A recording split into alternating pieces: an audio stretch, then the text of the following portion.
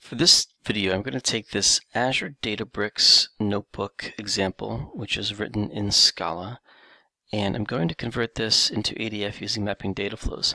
So this is an ETL example. This is meant to be extracting uh, um, data from a, a, JSON file. It has uh, some radio playlists on it, and then it takes that JSON file and um, selects a few columns from there, renames some things, creates a projection, and then imports that data in those columns into Azure SQL Data Warehouse. So I'm going to show you how to do this in ADF using mapping data flows. the first thing is that the data is acquired here with a wget, uh, and then that uh, file, the JSON file, is captured uh, here, and then it is stored in this location on the um, Databricks file system. So we'll skip this part. This is um, assuming that we already have acquired that file. And in ADF, this would just be a definition of a data set with a link service, the link service having your credentials and the data set pointing to the location of that file. And we'll acquire the schema from that process. Here, when you're working in Databricks and you're writing a notebook uh, ETL code, uh, then you uh, read the file in through the uh, JSON reader here, um, and you'll get the um, all of the columns from that uh, file. And so you can see that here in a preview within Notebook as you do uh, cell by cell operations. But then what you have to do is you have to set your projection here by selecting the columns that you want. So we'll do this as well. We're not going to take everything in. Uh, we want the samples to pretty much match up as close as possible. So we're going to take first name, last name, gender, location, and level. And then we rename level to subscription type. So I want to take this, I want to copy it to my clipboard so I can do this as well on my data flow. So I want to change level to subscription type. We take a look at the data, we browse the data, explore it, and that's pretty much it. And then we load it into Azure Data Warehouse. This should be very simple and pretty quick in Data Factory. So let's go over to Data Factory and I have a blank pipeline canvas. I'll add my data flow, and I will create a new data flow, uh, mapping data flow. And so we can call this um, notebook and this is a Scala ETL. There we go. Very good. And so we'll add that source, that source being the JSON file. So I already have that here, JSON radio. And I'll show you that definition. All you need to do is to point to that location in your blob store or ADLS, wherever you happen to have stored. And then you import that schema. So now we have the column names. We have all the information now stored within Data Factory. Next I can do in the pipeline is I'll do those selects so we can set the right projection that we want for this file here through this transformation. Now all of this, all of that metadata about the file comes in directly into um, Data Factory without you needing to do any coding or any work there. In fact, I haven't written anything at all yet. I've just been pointing and clicking my entire way through this. So I'm going to take all these extraneous fields. We just wanted the level and this is actually what we're changing. So let me paste that in here, changing the subscription type. Uh, location, first name, last name, gender, and length. I'm going to rearrange these so that we have the same ordering. Let me go back to that tutorial. And the columns are uh, doo -doo -doo first, last, gender, location, level. So first, again, all drag and drop. Last, location, level, gender, and length. Maybe I was wrong. We don't need those.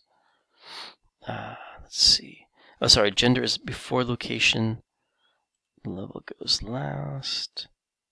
Gender before location level, so we don't need length. Okay, so I'll take that out.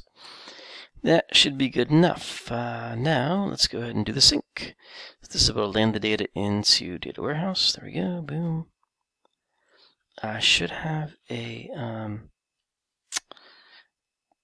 let's see, I think I already have a data set defined. Yes, new radio table. So you need a data set defining now the landing spot. So the sink is going to be a new radio table. I'll show you that. You have your connection with your credentials and link service to that um, data warehouse, to that database. And then for the table, what we're going to do here is we will just create a new table called radio. There isn't one that exists there yet. Um, So now go over to my management studio, you'll see that on that data warehouse there is no radio table yet. So we're going to have ADF create that for us based on the schema of this data coming in from the JSON file.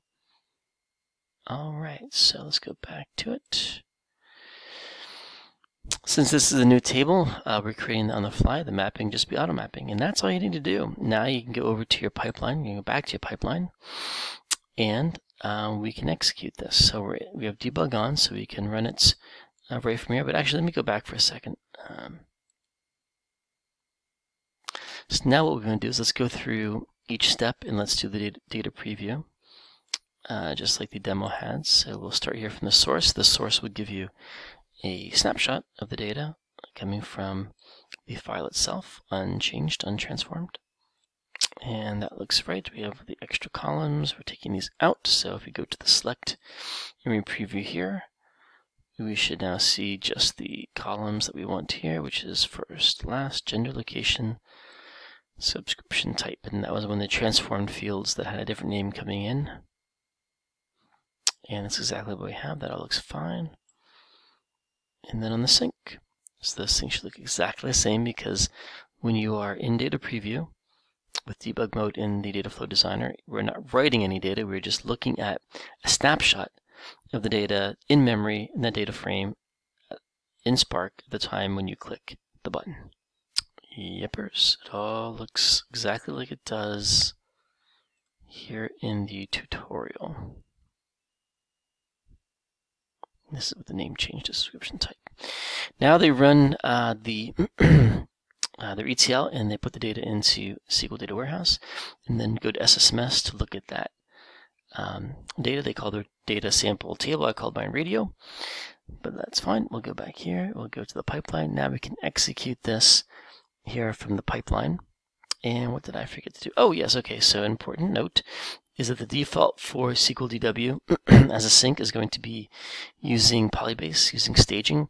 Uh, this is only a few number of rows, so no need to do that. I'm going to simplify this, and we'll just do direct row by row insert, and that'll be just fine for this demo. So this should take about one minute. Um, so let's go ahead and let that run, and then I'll come back to you in about 50 seconds.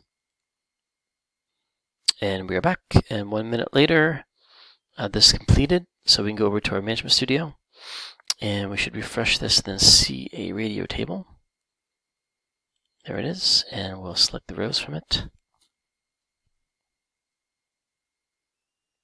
And there they are.